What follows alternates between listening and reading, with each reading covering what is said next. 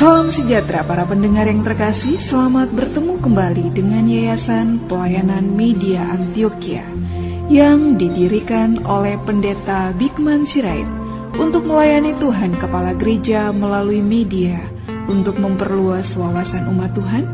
PAMA juga menerbitkan tabloid Kristen Reformata, Reformata Online, Reformata Audio Streaming, juga tersedia buku-buku karya pendeta Bigman Sirait dan ratusan CD khotbah.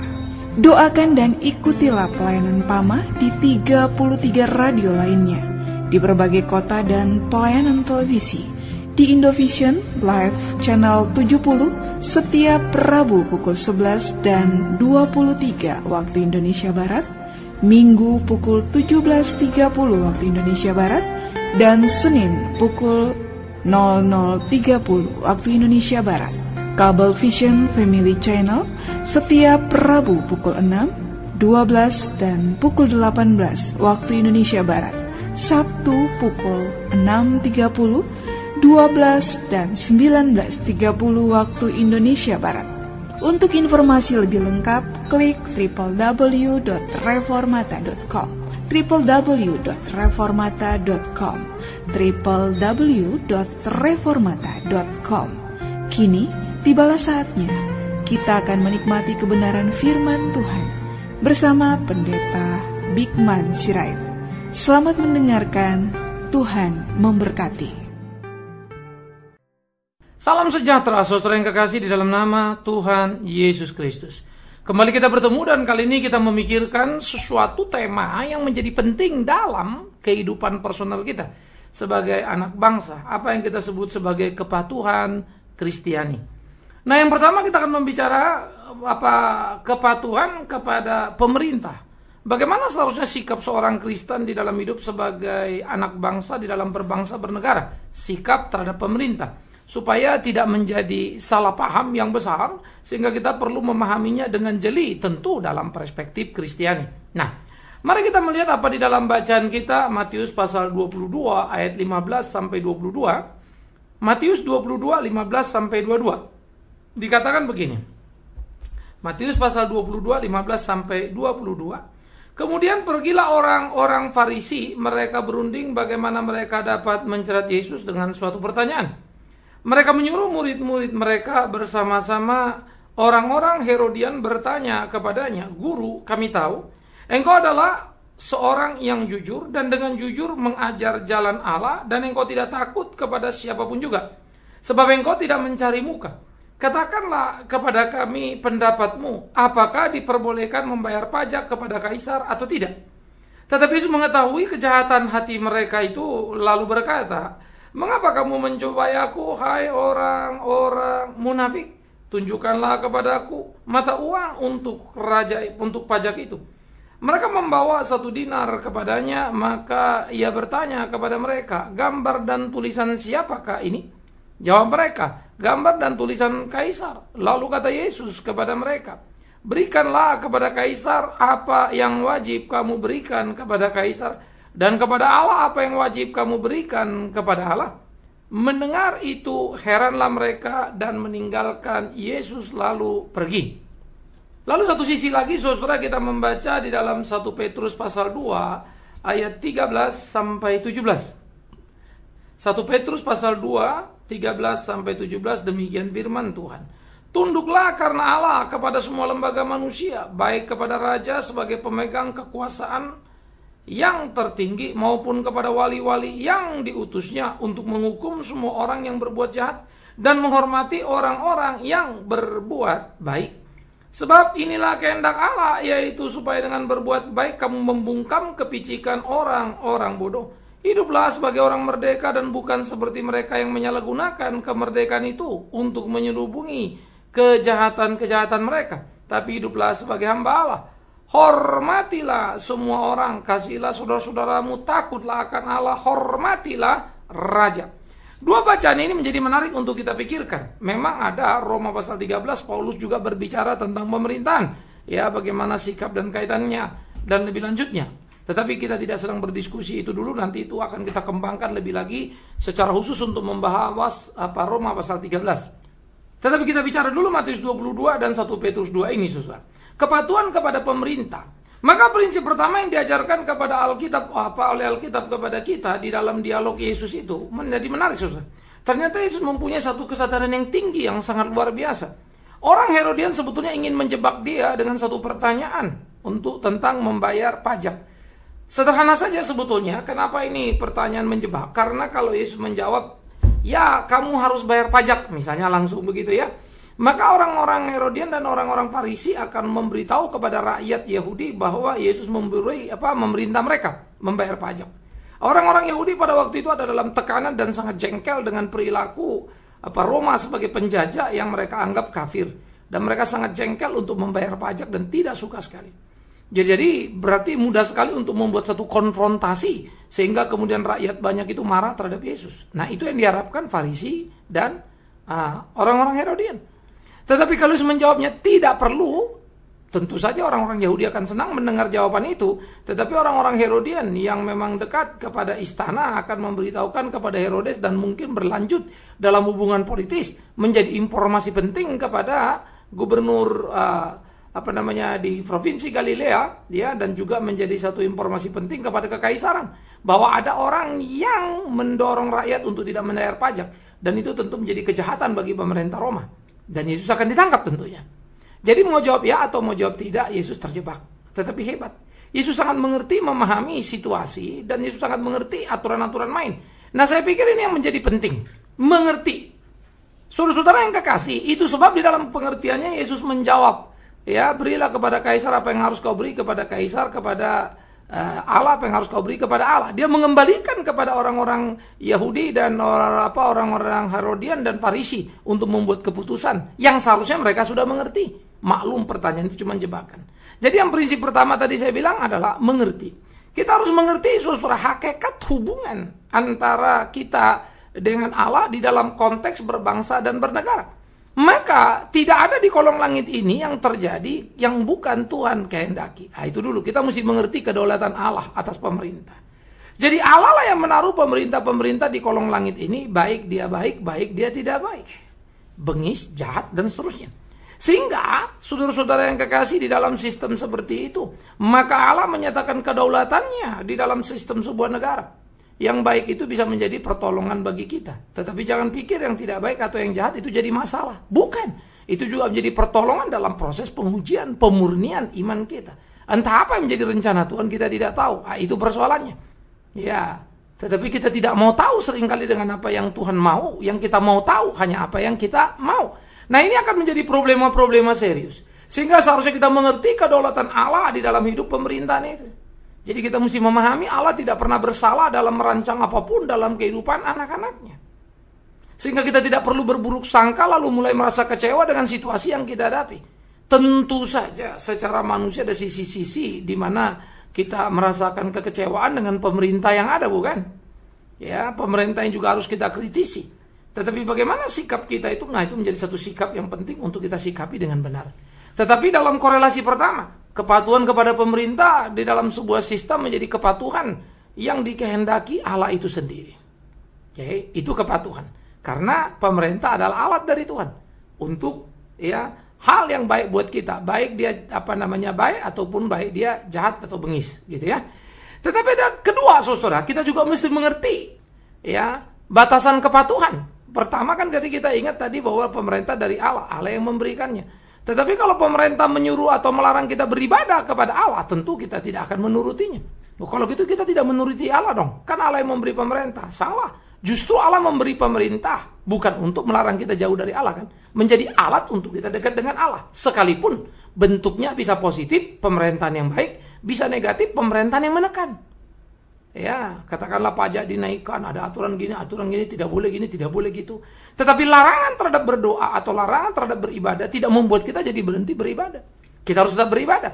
Kalau perlu berisiko seperti Sadrak, Mesa, Abednego. Siapa yang tidak menyembah patung akan dibakar hidup-hidup. Tidak mengapa.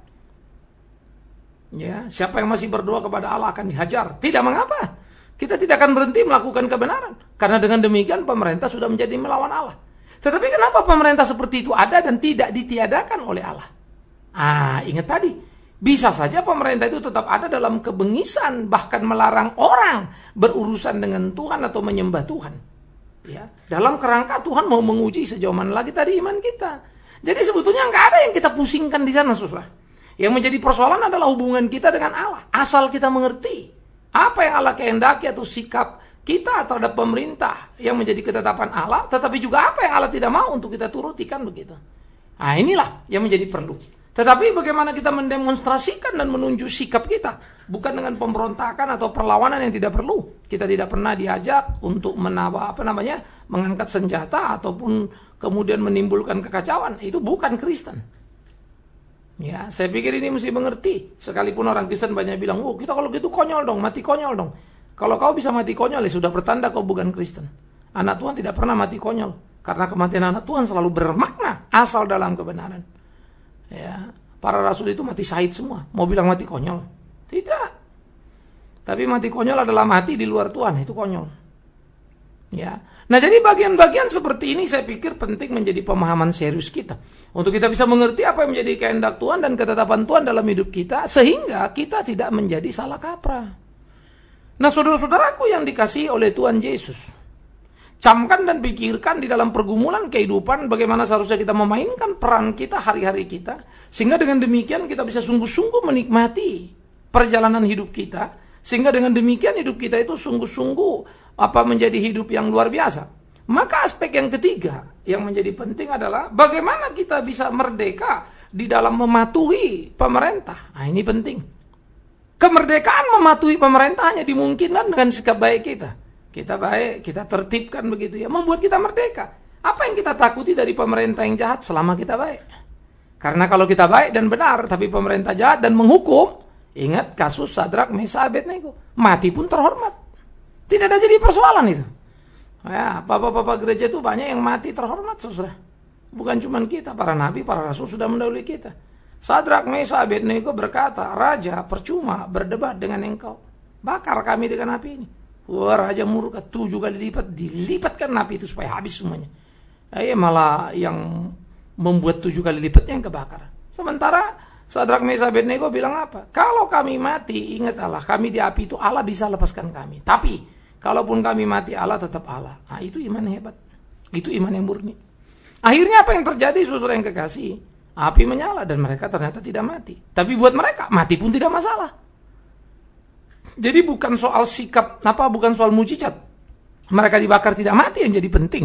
Tapi soal sikap iman yang mereka percayai sekalipun mati Tuhan tetap Tuhan. Dan jadi itulah kemerdekaan kita di dalam apa mematuhi ketetapan Allah. Sehingga di dalam titik paling ekstrim kita ditangkap, dituduh, dihina, difitnah dan mau dibakar hidup-hidup. Tidak mengapa, Tuhan tetap Tuhan. Ya, cara mati kita menuju surga itu bisa macam-macam. Nah, itu tidak jadi persoalan, itu, itu urusan kecil. Mau mati dibakar kayak mati ketabrak kayak mati apa namanya jatuh ke laut kayak ya itu urusan kecil itu. Ya. Tetapi menjadi penting untuk kita sadari dan kita pahami bersama ya, bagaimana sikap hidup kita untuk kita mengerti apa yang menjadi kehendak Tuhan kita. Nah, itulah yang seharusnya kita pahami secara utuh Saudara. Sehingga ini menjadi menarik bagi kita di dalam seluruh pergumulan-pergumulan kehidupan kita. Dengan demikian kita bisa melakukan apa yang menjadi kehendak Tuhan kita. Dengan demikian kita menjadi fair dalam hari-hari kita. Nah saya pikir ini perlu menjadi pergumulan serius di dalam kehidupan setiap orang Kristen. Sehingga orang Kristen betul-betul menyadari apa yang menjadi kehendak Tuhan di dalam hidupnya. Dan orang Kristen betul-betul bisa melakukan apa yang Tuhan mau untuk dia lakukan. Jadi pertama saudara mesti mengerti kedaulatan Allah dalam sistem pemerintahan. Tapi saudara juga mesti mengerti apa yang tidak boleh saudara taati dari pemerintah yang di dalamnya Allah berdaulat. Ya ketika kita disuruh melawan Allah kan tidak boleh berdoa dan gitu ya. Tetapi kita harus merdeka di dalam menjalani tugas itu yaitu tidak merasa kemudian pusing dengan apa yang ada, tidak mengangkat senjata untuk melawan dan menghancurkan pemerintah. Karena kalau Tuhan mau apalah susahnya bagi dia merubah sebuah pemerintahan.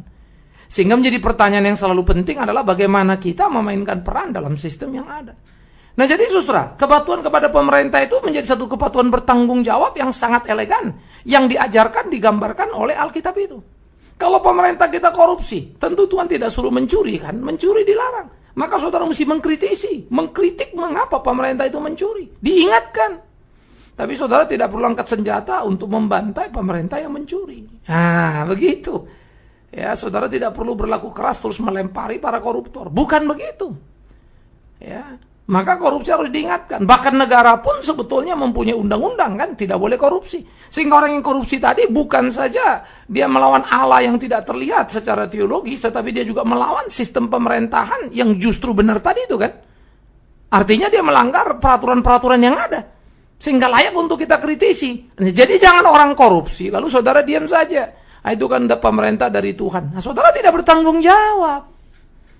Ya, ini yang harus hati-hati, saudara. Oleh karena itu saya pikir ya sikap-sikap orang Kristen juga sering kali jadi ambivalen. Bahkan dalam sikap ke apa kepada pemerintah, sikap di dalam gereja, udah tahu nih orang mencuri, udah tahu ambil uang, udah kita doakan saja. Aneh sekali. Bagaimana saudara mendoakan orang yang mencuri uang tanpa pernah mengutak-atik uang yang dicuri dan meminta pertanggungjawabannya? Bagaimana saudara mau menghadap kepada Tuhan dengan menyembunyikan dosa yang ada? Ya, saudara salah. Saudara mesti menegurnya, itu namanya suara kenabian. Suara kebenaran, kiranya. Yang mencuri itu sadar dan mengembalikannya. Maka engkau sudah mendapatkan jiwanya.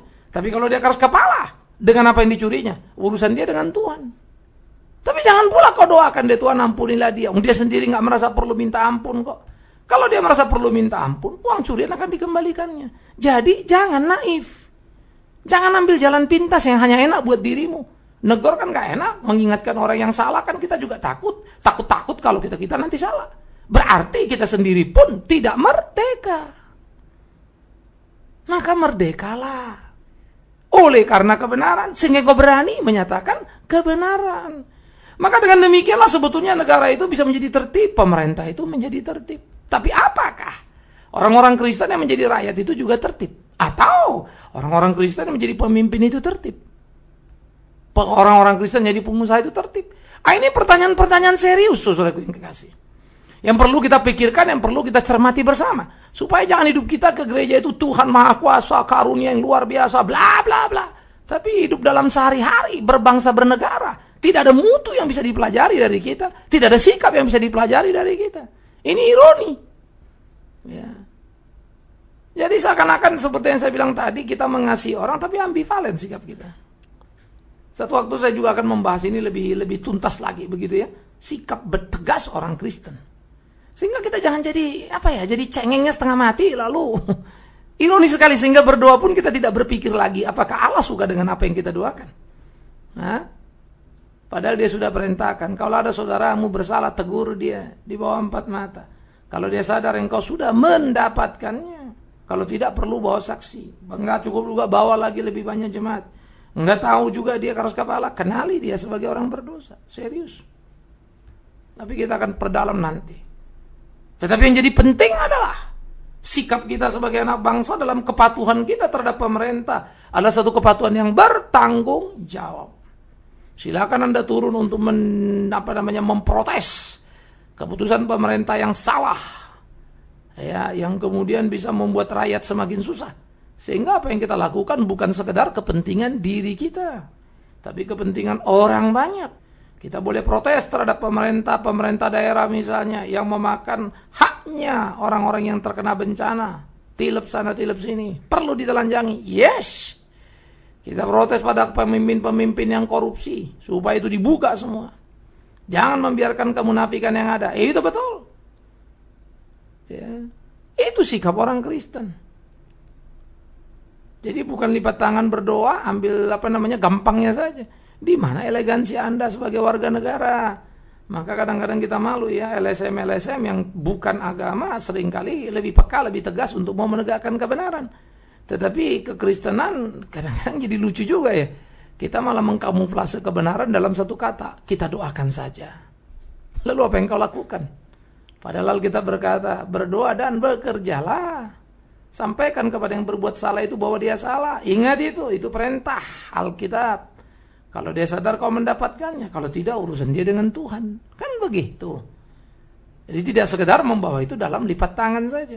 Nah karena itulah kepatuhan kepada pemerintah itu menjadi kepatuhan yang bertanggung jawab, kepatuhan yang benar. Tetapi tidak pernah diberi ruang kepada kita melakukan kekerasan. Tidak ada itu. Ya. Nah inilah elegansi dalam sikap Kristiani, saudara yang kekasih. Sehingga kepatuhan itu bukan kepatuhan buta. Kepatuhan yang bertanggung jawab. Elegan sekali ya. Sehingga kalau saya misalnya protes, eh itu tidak boleh, korupsi tidak boleh. Lalu pemerintah itu marah karena dia punya kuasa, saya ditangkap, masukkan penjara. Eh tidak mengapa. Iya toh. Karena memang dia salah sih.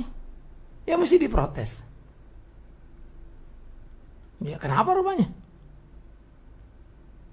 Nah jadi di dalam bagian-bagian seperti itu, di dalam hari-hari yang kita jalani, kita mesti belajar untuk memahami apa yang menjadi kehendak Tuhan kita kita mesti berjalan dalam kehidupan kita dan kita berani menegakkan kebenaran itu. Nah jadi apa yang memerdekakan saudara? Kebenaran. Asal saudara hidup menjadi warga yang baik. Kepatuhan kepada pemerintah menjadi kepatuhan yang harus terus-menerus kita perhatikan. Sehingga pemerintah boleh datang silih berganti. Memang ada kampanye, ada yang curang ya gitu ya. Lalu menang, ada juga yang jujur dan menang. Tidak mengapa. Curang jujur mereka akan berurusan dengan Tuhan kan. Tetapi ketika mereka naik jadi pemerintah, kita tahu Tuhan sedang membuat sesuatu. Cocok tidak cocok itu nomor dua. Membantu atau menganiaya, ah itu soal nomor dua itu. Itu judul apa yang Tuhan mau lakukan. Tapi Tuhan tidak pernah salah. Hanya saja dalam keterbatasan kita sebagai manusia, tentu kita berkompetisi untuk bisa naik jadi seorang pemerintah yang baik. Misalnya kan, punya cita-cita menggolkan seseorang yang baik untuk menjadi pemerintah yang baik. Karena kita tahu apa itu yang baik. Tapi perjuangan baik itu tidak selalu mulus. Dan itu tidak boleh membuat saudara frustrasi. Kok gini ya, kok gitu ya? Atau kemudian saudara kompromi pada pemerintah-pemerintah busuk. Lalu saudara ikut-ikutan di situ untuk mencari aman. Nah, itu salah lagi. Jadi kepatuhan kepada pemerintah adalah kepatuhan yang bertanggung jawab yang menciptakan ya, situasi kebersamaan yang kuat, yang hebat sebagai anak bangsa. Nah, sila kelima itu saya suka ya. Keadilan yang merata bagi seluruh rakyat Indonesia. Yes. Bukan hanya kau saja kelompok kecil atau kelompok besar. Nggak ada kelompok-kelompokan di sana. Kalau betul kau anak bangsa. Jadi orang-orang Kristen sebagai warga gereja tidak bisa berpangku tangan hidup untuk dirinya sendiri. Karena itu mari kita lakoni lakon kita sebagai jemaat Tuhan, sebagai warga gereja. Bukan hanya dalam kata dan khotbah. Tapi praktek yang nyata hidup sebagai warga negara yang baik yang patuh kepada pemerintah, tetapi patuh yang bertanggung jawab, bukan yang gelap mata. Kalau gelap mata itu artinya disuruh tidak boleh lagi doa, lalu saudara tidak doa juga, ah, itu gelap mata itu. Sementara yang bertanggung jawab artinya saudara melakukan kebenaran-kebenaran menjadi bagian dari kehidupan berbangsa bernegara tadi itu. Iya kan? Sehingga mana yang salah kita mesti kritisi. Mana yang salah kita mesti koreksi. Tetapi bukan dengan kekerasan dan pertumpahan darah, apalagi. Perlu sebuah elegansi dalam menyikapinya. Jadi saudaraku yang kekasih, marilah kita belajar dalam kehidupan ini. Supaya jangan kau takut dalam hidup ini. Supaya kau jangan takut sebagai anak bangsa. Hiduplah yang benar. Hiduplah yang baik. Kalau kau baik dan benar, apa yang kau takutkan? Tapi kalau kau salah dan jahat, apa perlu kau takut? Ya, biarlah ini menolong kita memerdekakan kita dalam kehidupan kita dan memberi kontribusi dengan nyata. Sehingga hari-hari kita sungguh-sungguh hari-hari yang luar biasa. Dan biarlah dalam berdoa terhadap pemerintah kita berdoa dengan tepat dan jelas. Berdoa dengan pengertian yang utuh, bukan yang salah. Tuhan menolong kita, Tuhan memberkati kita, saudaraku yang kekasih. Biarlah Tuhan memimpin, memampukan kita. Amin. Mari kita berdoa. Kami bersyukur, kami berterima kasih ya Tuhan atas cinta kasih-Mu dalam hidup kami. Kami bersyukur, kami berterima kasih hidup sebagai anak bangsa di bumi tercinta Indonesia. Karena kami berdoa, peliharakan pemerintah kami, bersihkan mereka dari kejahatan, jauhkan hal-hal yang tidak tepat di dalam hidup bangsa ini.